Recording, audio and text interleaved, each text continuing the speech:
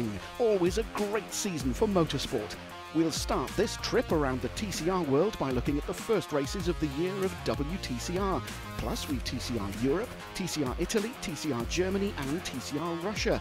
We'll travel to America to follow the IMSA Michelin Pilot Challenge, and with the first ever races of TCR South America. Welcome to episode 22 of Inside the World of TCR.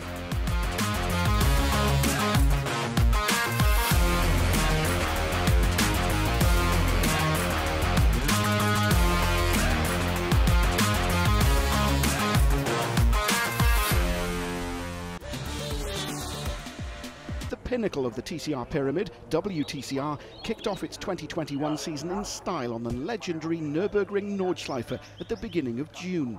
Yvan Muller started the first race from pole position in his Cyan Racing Lynk & Co. 03, ahead of reigning champion, teammate and nephew Yann Ehrlacher, and the two held station into the first corner, while Norbert Michelisz was forced wide in his BRC Racing Team Hyundai Elantra N, which allowed his teammate Gabriele Tarquini up to third. The action heated up on lap two, with Tarquini slipstreaming past Ehrlacher before lining up a move on Muller at the Döttinger straight. But Tarquini's lead didn't last long. He was overtaken by Muller and at the beginning of the last lap went wide into turn one. With a bunch of drivers very, very close, Tiago Monteiro's Honda pulled off a brilliant move from fifth up to second in a single corner out onto the Nordschleife for the final lap. Muller was leading Monteiro, with Urrutia third. The Portuguese driver pulled out of Muller's slipstream at the Döttinger and sailed past the Lynk & Co. into the lead, winning the race by half a second. Muller then had to settle for second ahead of Urrutia. Guerrieri was fourth, Michelisz fifth, and Tarquini sixth. It was Monteiro's first victory on the Nordschleife in a WTCR race, so the Portuguese driver was super happy at the end of the race. Yeah, I tried to be smart on that one, you know. I, I was really banged up in the first uh, few laps, first, first lap actually, but you know, I kept my focus and uh, I thought even though it's only three laps, it's a very long race for the tires and for the car. So I kept my focus, tried to push as hard as possible. I saw the opportunity when Gabriele uh, tangled uh, at the first corner. And after that, I just needed to try and follow Yvan as much as possible. I knew my only chance would be maybe on the straight line, so I need to really prepare that. And uh, well, you know, when you have a plan and everything works out, that's the way it is. So I'm very happy to start a season like this. Thank you, Honda. Thank you, Olinko. Thank you, JAS. Thank you to everybody. There was drama before the start of race two as Esteban Guerrieri, third on the grid, failed to get away for the formation lap and was forced to start from the pit lane. Nestor Girolami started from pole but was quickly passed by Jean-Karl Vernay. Girolami then tried to cover off Luca Engstler, but to no avail, with Engstler moving up into second and Girolami just managing to hold on to third ahead of Santiago Urrutia. There was trouble further back as the Hyundai of Norbert Michelisz was spun by the Cupra of Mikel Azcona at the exit of turn one, while the other Cupra of Rob Huff was also spun by the Hyundai of Andreas Bäckman. This in turn saw Huff's car spin into Azcona before the Spaniard was hit again by Bäckman. For all four drivers involved in the incident, this was the end of their race. Vernay took the checkered flag just four tenths of a second ahead of Engstler, while the two drivers were 12 seconds clear of Girolami. Tassi finished fourth, Urrutia fifth, and Berthon sixth. Estoril then hosted the second WTCR event of the season.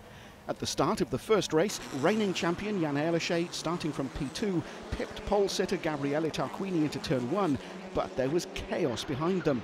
Girolami missed his braking point and hit Norbert Michelisz, who spun and collected Attila Tassi, while Mikel Azcona couldn't avoid colliding with the back of Vernay's car. Girolami stopped on the track while Vernay and Michelisz limped back to the pits and the safety car was deployed. When racing resumed on lap 4, Ehrlacher led from Tarquini, Muller, Urrutia and Montero.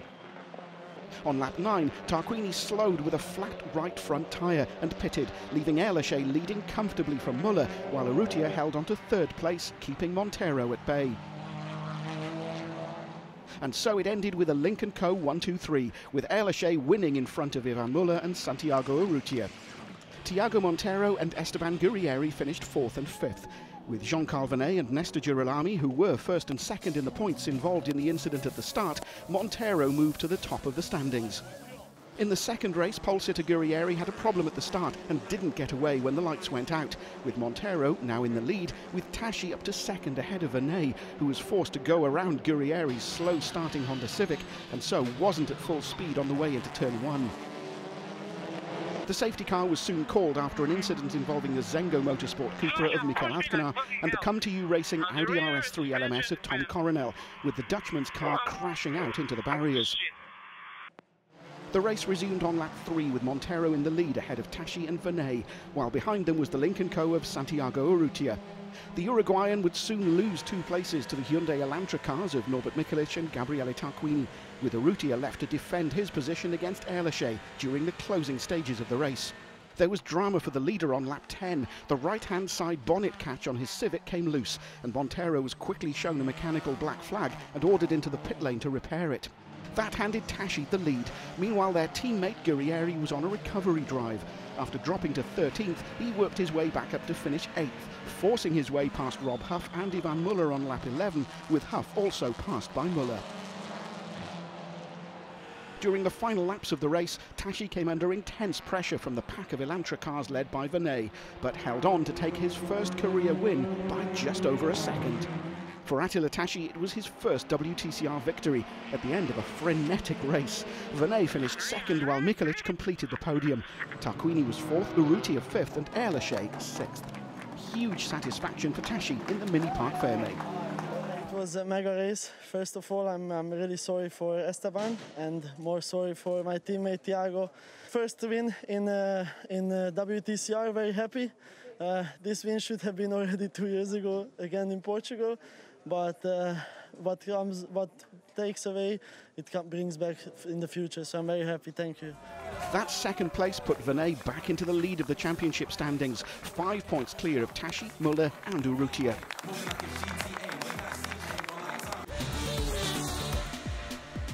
The end of May, TCR Europe was in Le Castellet for the second event of the season.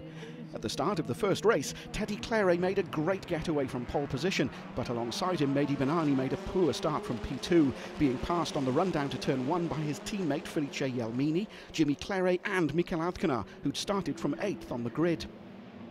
There was more bad news for the Sebastian Loeb racing team as Sami Taoufik's race ended on the opening lap after the young Moroccan driver ran wide at turn two after being touched from behind by Jimmy Clairet.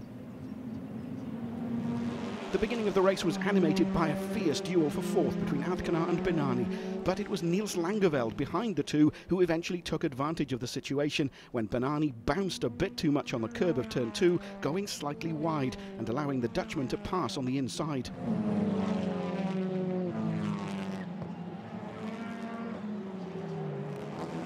On the same lap at the chicane, Langeveld also passed Azcona for fourth with this move.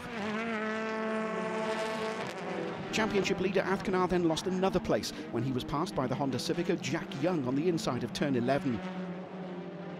The top positions didn't change, and so Teddy Clairet took a lights to flag victory at his home event, with his brother Jimmy finishing third, the two being split by Jelmini in second. Langeveld finished fourth, Young fifth, and Azcona sixth. In the second race, the start again proved to be critical.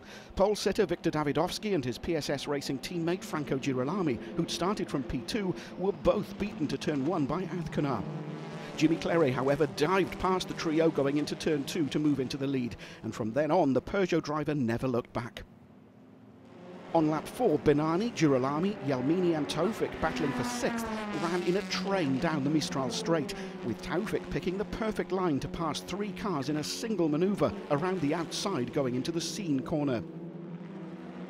On lap 5, contact between Langeveld and Young while scrapping for P3 saw both cars forced to retire, with Young pulling off the track and Langeveld limping back to the pits.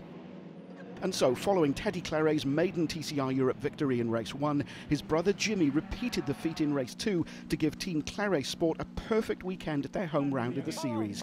Azcona finished second, retaining the lead in the championship, while Taoufik completed the podium. For rounds five and six, TCR Europe went to Zandvoort. In the first race, pole sitter Jack Young made a good start, but it was the Audi of Nicolas Baert that made the best getaway, gaining two positions to sit in second place behind Young going through turn one. On lap two, Niels Langeveld overtook his teammate and reigning TCR Europe champion Mehdi Bennani with this move into turn three that ended with a slight contact. There was drama on lap three when Tom Coronel in third went to pass Baert for P2 through turns 9 and 10.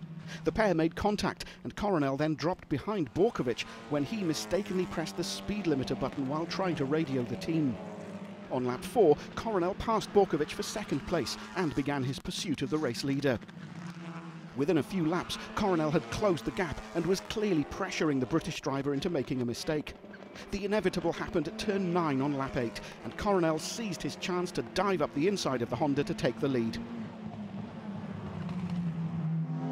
On home soil, Tom Coronel grabbed his first win of the season. Young was second and Borkovic completed the podium. Langeveld finished fourth, Girolami fifth and Baert sixth. In the second race, the two front row drivers, pole sitter Taoufik and Langeveld, were still side by side after three corners going into the banked turn four.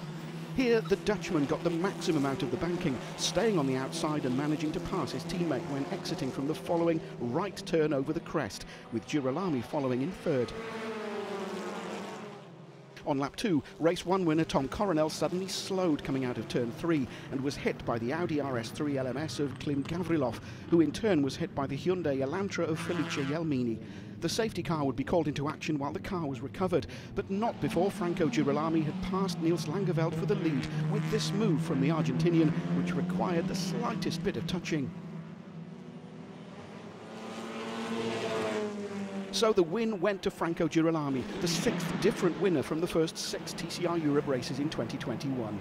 Langeveld was second, Isidro Callejas third, Borkovic fourth, Jimmy Clairet fifth, and Bennani sixth. The win meant a delighted Franco Girolami took the lead in the driver's standings and was congratulated by his brother, WTCR driver Nestor, at the Mini Parc Fermé. Azcona, who missed the event because he was competing in the first ever ETCR race in Vallelunga, is still second with just an 11 point gap.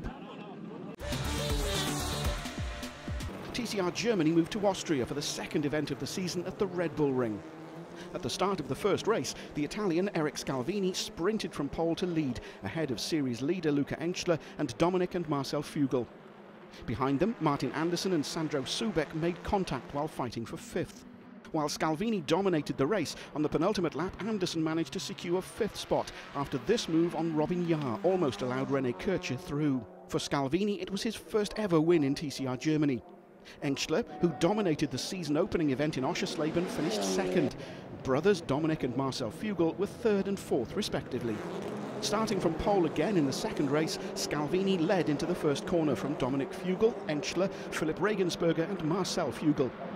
As the field negotiated turn one, Rene Kircher made contact with Sandro Subek and dropped back.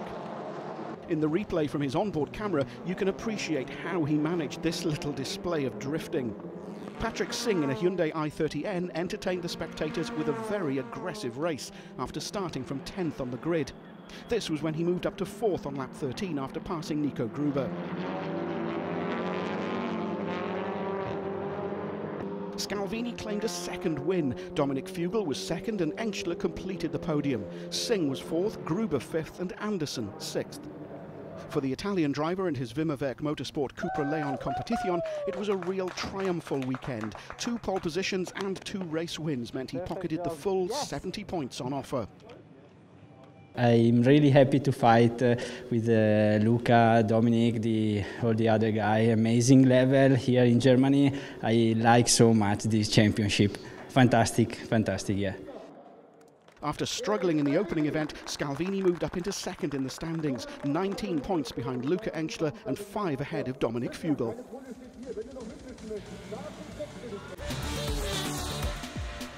Watkins Glen hosted round four of the IMSA Michelin Pilot Challenge at the end of June. Ryan Eversley took the win driving his Honda Civic Type R. He took the lead at the beginning of the last hour and emerged victorious from the close battle that followed against Norman's Hyundai Elantra N, Michael Lewis's Hyundai Veloster N and the sister Atlanta Speedwork Honda of Ryan Noka. Eventually, the Bryan Herta Autosport Hyundai cars of Norman, Parker Chase, and Lewis Taylor Hagler completed the podium. The latter pair recovered from an early off track excursion into a gravel trap, beating the Civic of Noka and Bob Henderson by less than three tenths.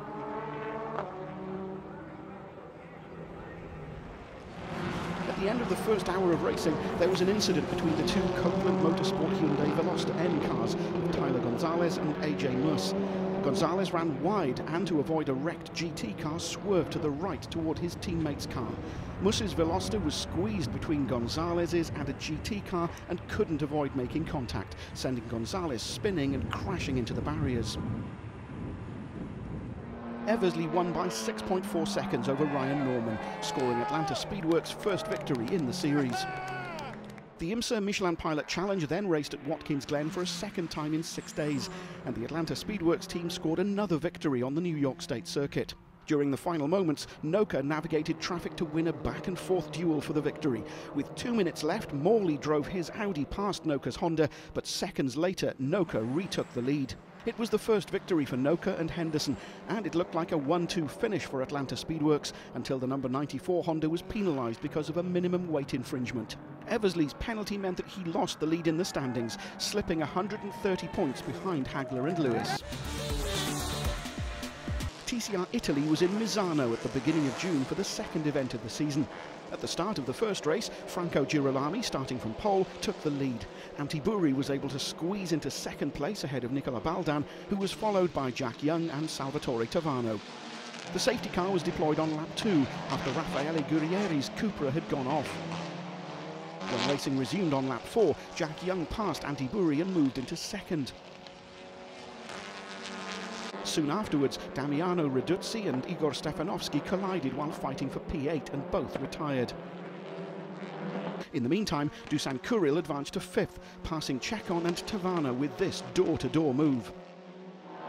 On lap 10, Matteo Poloni touched Federico Paolino from behind, but they were both able to continue the race. Despite a safety car intervention to remove a car stuck in the gravel, Girolami managed to keep the lead and the top positions didn't change. The Argentinian then took the checkered flag ahead of the target competition duo of Antti Buri and Nicola Baldan. After the race, a five-second penalty dropped Kuril from fourth to eighth. So Ceccon finished fourth, Brigliadori fifth, and Volt sixth. Pole sitter Dusan Kuril couldn't make the grid of race two due to a technical issue, and so Damiano Reduzzi took the lead at the start from P2. Behind him, Buri moved to the inside of Tavano and passed him for third into turn one. The safety car was deployed on lap two to recover Ettore Carminati's Hyundai that had crashed. The race resumed one lap later with Antti Buri moving into the lead ahead of Damiano Reduzzi after this overtake. Behind them there was a furious battle for P3 with door-to-door -door contacts between Young, Baldan, Ceccon, Tavano, Girolami and Brigliadori. On lap 14, Paolino's Cupra hit Poloni's Audi while they were fighting for 10th. Poloni spun and was collected by Giacon's Honda and retired, while Paolino was given a 25-second penalty. Buri's lead, however, wasn't in danger, as Young and Baldan were fighting behind him. Baldan took the inside into the last turn and pipped Young on the line by three tenths to finish second. Behind them, Tavano crossed the line in fourth position, but was given a 25 second penalty for unfair driving behaviour and so dropped to 15th, while Ceccon and Brigliadori advanced to fourth and fifth, respectively. The third event of TCR Italy took place in Vallelunga at the end of June.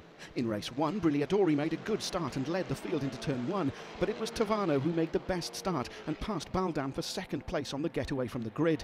Baldan then slipped to fourth behind Buri. Kevin Ceccon also made up a place, passing Michele Imberti for fifth. Going into turn two, there was contact between the two Cupra cars of Federico Paolino and Raffaele Guerrieri. Both cars ended up stranded in the gravel, and so the safety car was deployed while they were recovered. After a little under 10 minutes behind the safety car, racing resumed on lap 5. Tavano had closed up behind Brigliadori, but much of the race was then fairly processional, with Brigliadori pulling away from Tavano to open up a sizable lead. On lap 13, the Honda Civic of Matthias Vahtel pulled up at turn 4 with a technical issue while running in 7th. On lap 15, Marco Butti ended up in the gravel, but the car's position wasn't deemed to be a risk to the other competitors, and so racing could continue. The final lap then witnessed two last-minute dramas. Brigliadori crossed the line to take an assertive win from Tavano and Buri, but it was Ceccon who finished fourth after a flat tyre forced Baldan to slow and drop to fifth. A similar issue affected Imberti, who finished 13th after starting the final lap in sixth place. At the start of the second race, Matthias Vahtel made good use of pole position and led the field, followed by his ALM Motorsport teammate Ruben Volt, who kept at bay Kevin Ceccon, Michele Imberti, Antti Buri, Salvatore Tavano, Eric Brigliadori and Nicola Baldan. During the first lap, Igor Stefanovski went wide at the Cimini bend and rejoined in 12th position. Behind the leaders, Buri was chasing Imberti for P4, with Tavano holding on to sixth place ahead of Brigliadori, Baldan and Leonov. Finally, on lap 7, Buri managed to pass Imberti for fourth at Cimini. On the same lap, Ruben Volt missed the braking point into the Campagnano bend, and Kevin Ceccon immediately passed him to move up to second. One lap later, Volt lost another position when he was passed by Antti Buri. The Estonian would pit a couple of laps later with a flat front tyre. Leonov also suffered a puncture while he was in eighth position, chasing Brigliadori and had to pit. On lap 14, it was Vahtel who pitted with a flat front tyre, handing the lead to Ceccon. A similar problem then hit Stefanovski, who went off into the gravel from P7, prompting the safety car into action. The green flag was then waved for a couple of thrilling final laps. Ceccon rejected the assault from Buri with some very, very late braking, while Tavano in third was really close. On lap 17, Brigliadori dived to the inside of Imberti at the hairpin and moved into P4. Baldan benefited from the situation and passed Imberti at the exit of the Roma bend for fifth. During the final lap, Baldan pushed Brigliadori wide at the hairpin and took fourth behind Ceccon, Buri and Tavano. However, the move was considered unfair, and after the race he was demoted to fifth behind Brigliadori. For Kevin Ceccon and his aggressive Team Italia Hyundai i30N, it was an outstanding victory. Buri was second and Tavano completed the podium. Brigliadori finished fourth, Baldan fifth and Imberti sixth. The results mean that Brigliadori's leading margin in the standings was cut to just seven points ahead of Buri, while Ceccon climbed to third, a further six points behind. Tavano and Baldan are also in contention for the title as they are fourth and fifth with gaps of 21 and 31 points respectively. TCR Russia travelled to the N-Ring in Nizhny Novgorod for the second event of the season. Pavel Kalmanovich driving an AG Team Cupra started from pole position for the rolling start, with Grigory Burlutsky alongside, and both got away well, while Egor Rutchev in an Audi had, from fifth on the grid, dived down the inside at the first corner, snatching third from Zakhar Slutsky. Mikhail Mityev would go on to have a problematic race. After pitting because of technical issues, he rejoined several laps down before retiring with a broken front left upright. Kalmanovich won the race just over a second ahead of Burlutsky. Orudzhev was third in front of Slutsky and former champion Dmitry Bragin. Series leader Kirill Ladygin was sixth. At the start of the second race, Dmitry Bragin made good use of pole position to lead the field, while Egor Fokin, second on the grid, was quickly swallowed up by the drivers behind. Ladygin moved up into second, followed by Nureyev. Behind those three, a furious battle for P4 began, involving Maslenikov, Ivan Lukashevich, Egor Orudzhev, Zakhar Slutsky, Timur Shigabutinov and Grigory Burlutsky. They ran bumper to bumper for several laps and eventually they were joined by Mikhail Mityev, Fokin and Lev Tolkachev. On lap 19, Mityev passed Shigabudinov for P8. Their cars clashed and Shigabudinov dropped to 12th.